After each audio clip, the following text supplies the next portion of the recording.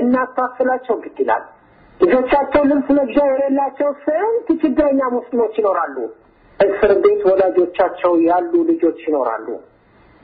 አዎ ጎረቤት ስጋ ታርዶ ቀርቦ ዳቦ ተገዝቶ በል ተብሎም ኬክ ተሰርቶ ሁሉ ነገር አዲስ ልብስ፣ አዲስ ጫማ፣ ቤቱ ቀለም ተቀብቶ ሲያዩ ድንገት የነሱ ቤተሰቦች አባት ወንድም የሚያስተዳድራቸው የነበረ እስር ቤት ከሆነ አዎ አባቴ እኮ ባይታሰር እኔም ይሄን ያገኝ ነበር ብሎ ልጅ እንዳይጸጸት የማድረግ ግዴታ የሁላችንም ነው። ስለዚህ ዚያራ መኖር አለበት። እርዱን በተመለከተ ከሶላት በፊት መታረድ የለበትም። ይህን ታውቃላችሁ፣ ለማስታወስ ያክል ነው።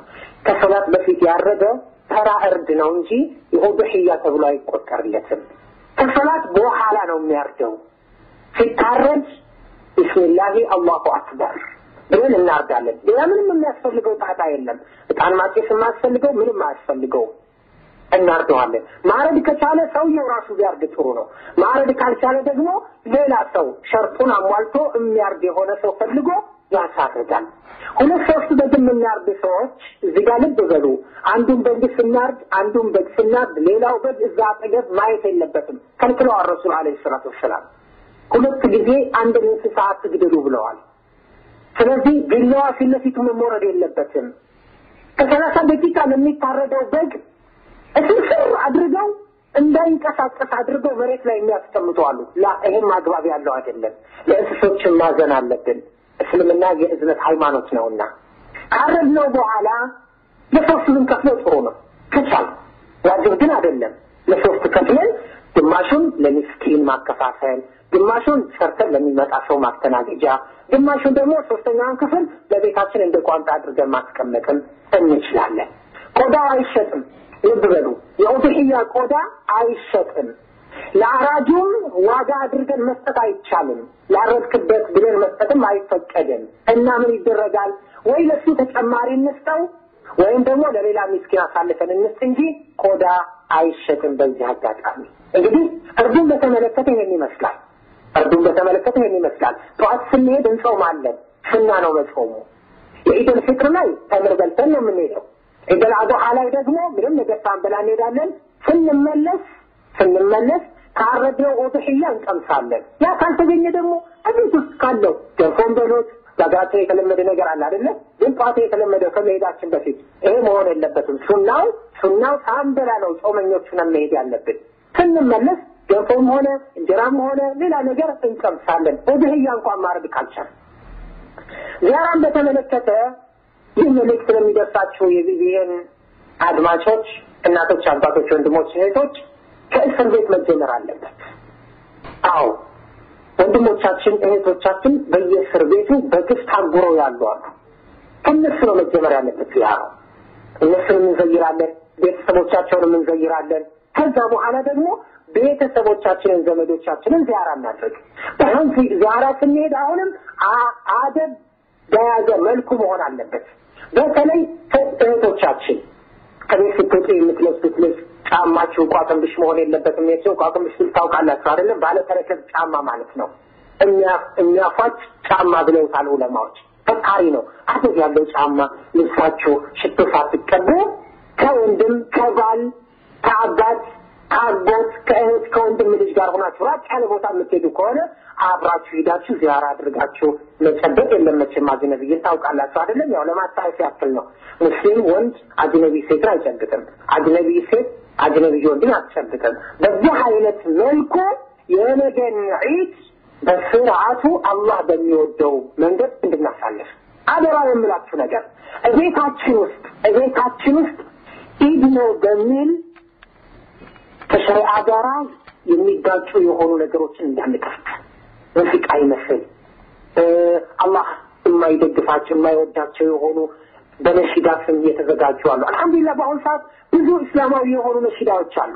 እነሱ እያሉ ድግ ያለው ጭብጨባ ያለው ከበሮ ያለው ነገር እንዳንጠቀም ከዚህም አልፎ በኢድ ቀን ነው ተብሎ ኢቲቪ የሚያቀርባቸውን ነገሮች እንዳትመለከቱ። እርቃናቸውን ነው ሴቶች የሚቀርቡት። አንድ ሁለተኛ ዘፈን ነው የሚጋብዟቸው እንጂ ቁርአን አይደለም። አያስፈልግም። ካልቻላችሁ አፍሪካ ቲቪ ከፍታችሁ ተከታተሉ። ካልቻላችሁ ቁርአናችሁ ከፍታችሁ ተደስታችሁ አሉ። እንግዲህ ብዙ ነገሮች ማለት ይቻላል። በዚህ አጋጣሚ ቢቢኤን ይህንን እድል ስለሰጠኝ جزاكم الله خيرا እላለሁኝ።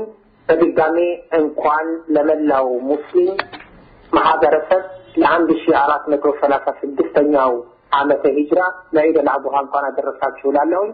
ጀዛከላሁ ኸይረን አብዱራሂም። ኡስታዝ እንግዲህ ማሻአላህ በጣም ትልቅ መልእክት ነው ለሙስሊሙ ማህበረሰብ እድር ምጥን አድርገው ያስተላለፉት።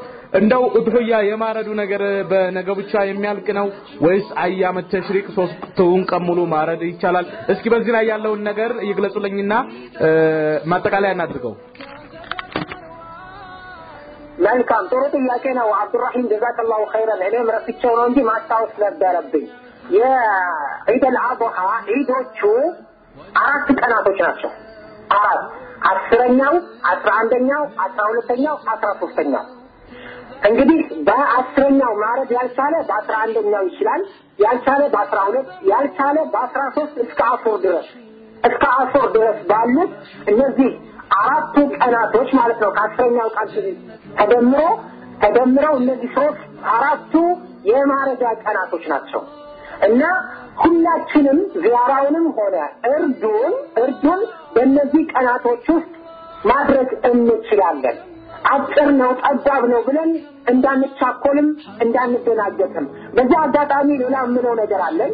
አልሐምዱሊላህ ረብል ዓለሚን በአንዳንድ ወንድሞቻችን እና እህቶቻችን አማካኝነት ማረድ ለማይችሉት ሰዎች ማረድ ለማይችሉት ሰዎች እንዲያርዱ ወይም ታርዶ እንዲከፋፈልላቸው እየተሰሩ ያሉ ስራዎች አሉ። በዚህ አጋጣሚ ጀዛኩም ላሁ ኸይረን እላለሁኝ። ማሻአላህ ስንት ቤቶች አሉ እንኳን የበግ ስጋ አይደለም ዶሮ እንኳን ማረድ የማይችሉ ስንት ሚስቴዎች አሉ። እንኳን አሁን አይደለም ድሮም ራሱ ያቃታቸው በርካታ ሰዎች አሉ። በርካታ ሙስሊሞች አሉ። በራቸውን ዘግተው ሌላው ሲደሰት ቁጭ ብለው የሚያለቅሱ የእነዛን ቤቶች እያንኳኩ ያሉ ውጭ ሀገር ያሉ ወንድሞችና እህቶች አሉ። ይህን ነገር ልትቀጥሉበት ይገባል። አሁንም ቢሆን መቆም የለበትም። እስከ ሶስተኛው ቀን መላክ የምትችሉ በአስተባባሪዎች በኩል ልካችሁ እርዱ፣ ታርዶ እንዲከፋፈል አድርጉ እላለሁኝ። ዚያራውም እርዱም አያመ ተሽሪቅ እነዚህ ሶስቱን ቀናቶች ከአስረኛው ቀን ቀጥለው ያሉትን እስከ አሶር ድረስ ማድረግ እንችላለን ነው የምለው። አሁንም በድጋሜ ለቢቢኤን ሰራተኞችም ሆነ ዓለም ላይ ላሉት ለኢትዮጵያውያን ሙስሊሞች ይህንን መልእክት ለሚያዳምጡ በሙሉ እንኳን አላሁ ስብሓነሁ ወተዓላ ለአንድ ሺ አራት መቶ ሰላሳ ስድስተኛው ዓመተ ሂጅራ ዒድ አልአድሃ በሰላም አደረሳችሁ። ተቀበል ላሁ ሚና ወሚንኩም ሳሊሐል አዕማል። ወሰላሙ አለይኩም ወረሕመቱላሂ ወበረካቱ።